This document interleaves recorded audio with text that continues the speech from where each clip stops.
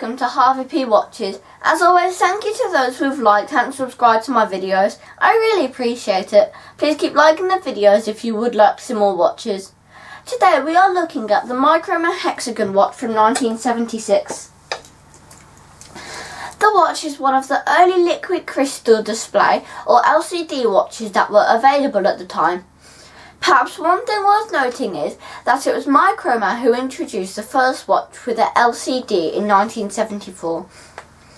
The watches were advertised as continually displaying the time in hours and minutes, as unlike digital watches that used a LED display that there were no buttons to press to see the time.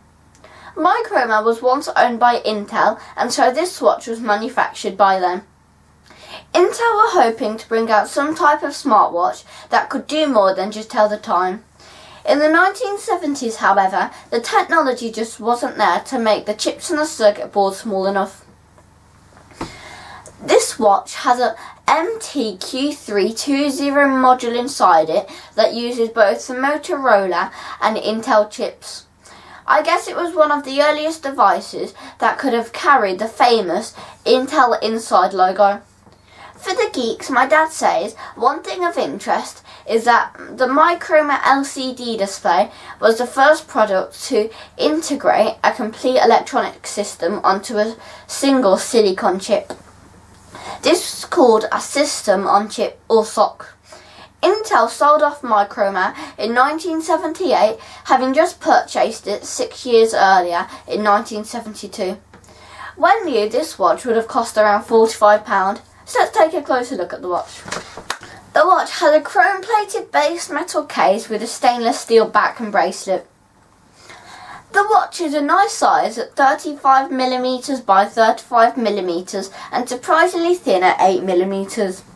We have two versions of this watch, one finished in stainless steel and a gold plated version, although that one currently doesn't have a strap. As a result, looking at the gold one, you can not only see how thin the watch is, but you can also see the lugs are quite unusual being in the centre of the watch. The watch is a hexagon shape with a mineral glass insert that has a black background with an LCD panel in the centre. Above the display is the name Microma in silver or gold on the gold version. For the size of the watch, the LCD display is pretty small, measuring about 16 millimeters across. As you may expect from a digital watch of this era, the functions are quite basic, as is the time display showing just the hour and minutes. Pressing the top right button once displays the month and the date, while pressing it twice displays the seconds. Pressing the single button on the left takes the watch into a basic stopwatch mode that is started and stopped by the right top button.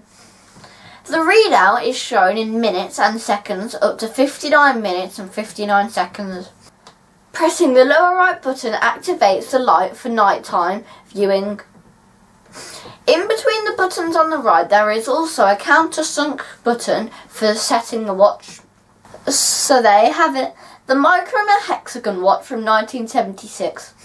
I do like the watch as it has a classy 1970s look about it and it looks very nice on the wrist.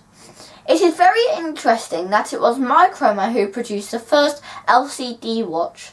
It's strange to think that at the time LCD watches were cutting edge technology and yet these days LCD displays are everywhere and indeed very cheap. Thank you for watching and if you enjoy these videos and would like to see more watches please hit the like key and perhaps even subscribe. You can see more of our watches at www.modestwatches.com and you can see my website at www.harveyp.com. Thank you for watching. Have a great day. Bye.